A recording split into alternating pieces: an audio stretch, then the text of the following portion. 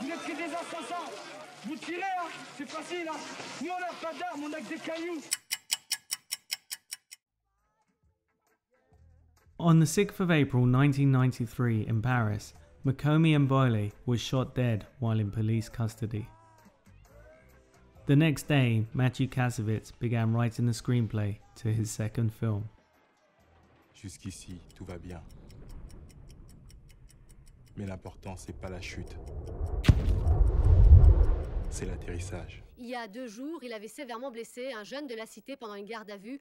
L'inspecteur a été démis de ses fonctions, mais Abdel Isha est toujours en observation à l'hôpital Saint-Georges. It's the aftermath of a night of uprising caused by Abdul being put into a coma. Kassovitz shows how the elites in Paris view and try to control those who have taken to the streets.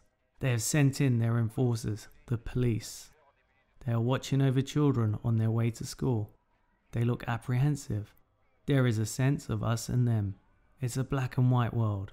By showing the police in this long tracking shot, Kassovitz demonstrates how the presence is just a show of power. La Haine would explode Henry Miller's assertion that even the most humble mortal would feel alive in Paris. Kassovitz pulls focus away from the French capital. Don't look at the buildings, look at these guys. Who are they? Why are they frustrated by the police and the elites? The three friends, Saïd, Vinz, and Hubert, all live in the banlieue, the concrete jungle housing the poorest Parisians on the outskirts of the city. They are a joker, a fighter, and a politician. Hain argues that if we understand these guys, we will understand Paris and subsequently the world.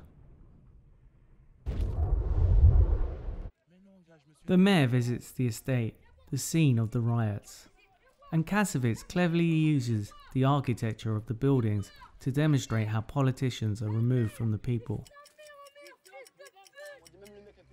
The same thing happens when the media arrive.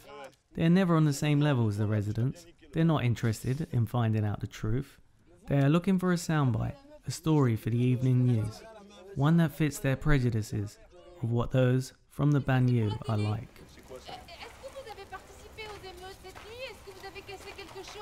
Eh, madame, on s'en bat des voyous pour vous ou The decision to pull focus away from Paris is radical, revolutionary even.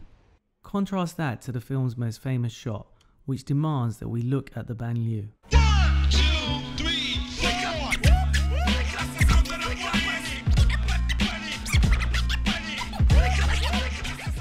DJ uses his window overlooking the estate as his booth, playing music for everyone.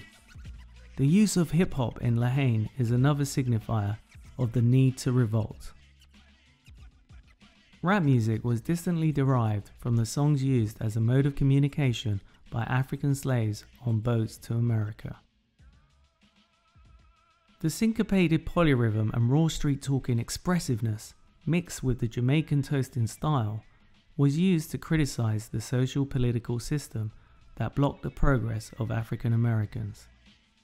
The music, the camera, the framing, the dialogue links those in the banlieue with this struggle.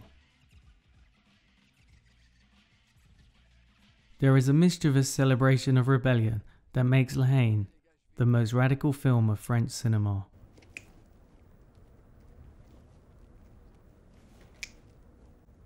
Gueule, ça marche que dans les films, ton histoire là. Ah, nique sa mère.